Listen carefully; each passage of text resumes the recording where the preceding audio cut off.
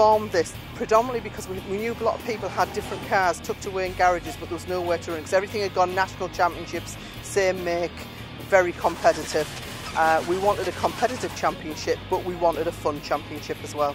We've got such a, a vast variety of competitors and cars. I mean, the, predominantly the, the, vehicles that are prepared are all by owner drivers, so that um, what what you see is somebody actually putting the work in themselves and producing a car and coming out and racing and getting the best out of it.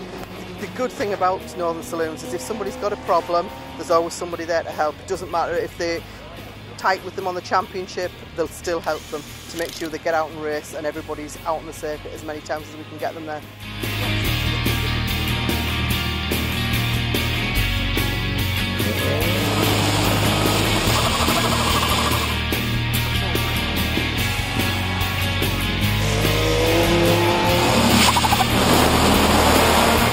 It's uh, really exciting. It's something that once you've done once, you uh, it gets in your blood. It's so enjoyable, especially with a, a club like this where everybody's friendly, everybody helps each other. Um, it's just it works. Everybody gets together, everybody meets up, everybody socialises, and that's what makes the Northern Sports and Saloons.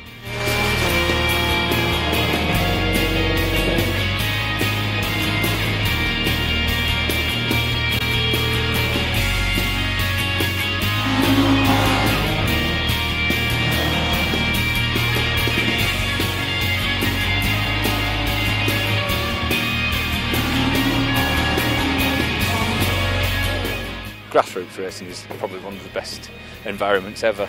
You know, everybody supports you. You won't find that going up the ladder up into some, some of the higher championships. And if it's for you, come and have a go. Why not?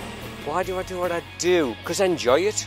It's a big boost, especially when you're driving something like the Elise, where it's so quick through the corners as what it is on the straights.